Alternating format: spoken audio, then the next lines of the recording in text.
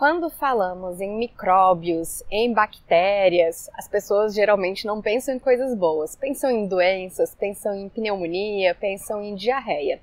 Mas a verdade é que temos trilhões de bactérias, principalmente no nosso trato digestivo, da boca até o ânus. Então, boca, garganta, estômago, mas principalmente no intestino delgado e no intestino grosso, temos uma quantidade tão grande de bactérias que chegam a pesar cerca de 3 quilos que é o peso médio do cérebro do ser humano. E essas bactérias, na verdade, protegem o nosso organismo contra invasores, elas mantêm um meio saudável para que fiquemos menos inflamados.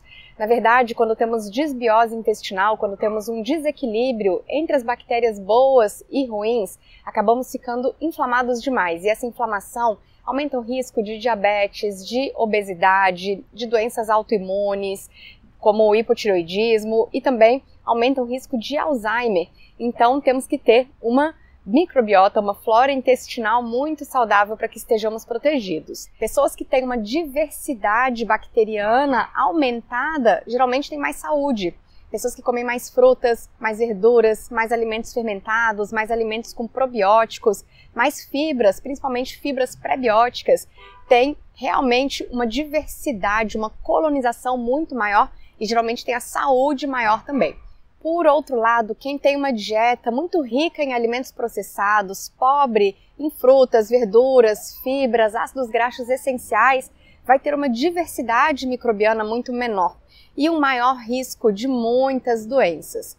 Então, o profissional de saúde precisa estar habilitado, precisa estar apto a identificar os sinais e sintomas da desbiose intestinal para que possam tratar se você estiver em Portugal, no dia 19 de maio estarei dando um curso sobre a desbiose intestinal, diagnóstico e tratamento na cidade de Viseu e você está convidado.